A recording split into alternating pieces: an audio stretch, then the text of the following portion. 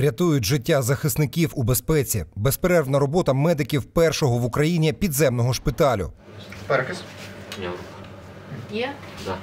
У цьому стабілізаційному пункті, який збудували неподалік лінії фронту на одному з найгарячіших напрямків, усе продумано до дрібниць і відповідає стандарту НАТО Рол Ешелон 2 Так, наразі це єдиний, і я думаю, що він єдиний в світі, напевно, що поки що. Нічого подібного, принаймні, то, що ми пробували знайти, щоб під землею були такого виду об'єкти, поки наразі ми не, не, не бачили.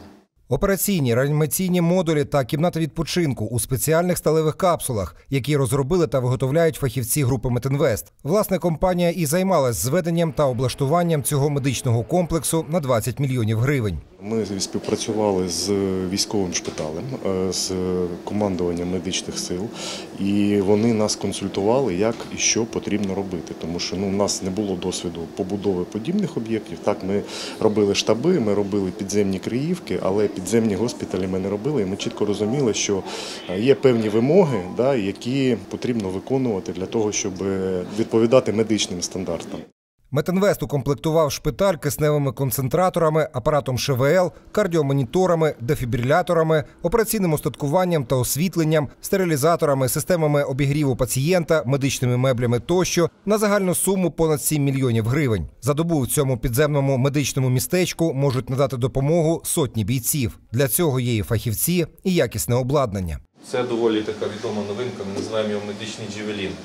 Це дороговартісний апарат, він об'єднує повністю всі якраз ці усі складові реанімації. Монітори, кардіомонітори, там, е, відсмоктувачі і тому подібне. Це все об'єднано з- в в один ось цей, в один ось цей апарат. Зверху над стаб-пунктом кілька типів перекриттів, бо ж головне, аби поранені захисники та медики були у безпеці навіть неподалік лінії фронту. Коли це важкі поранені, то кожна секунда на, ну, на щоту.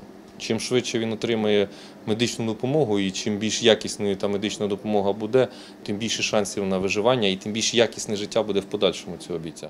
Від початку повномасштабного вторгнення Метинвест спрямував на допомогу Україні та її громадянам 7,5 мільярдів гривень, з яких 4 мільярди гривень на потреби армії в межах мілітарної ініціативи Сталевий фронт Ріната Ахметова.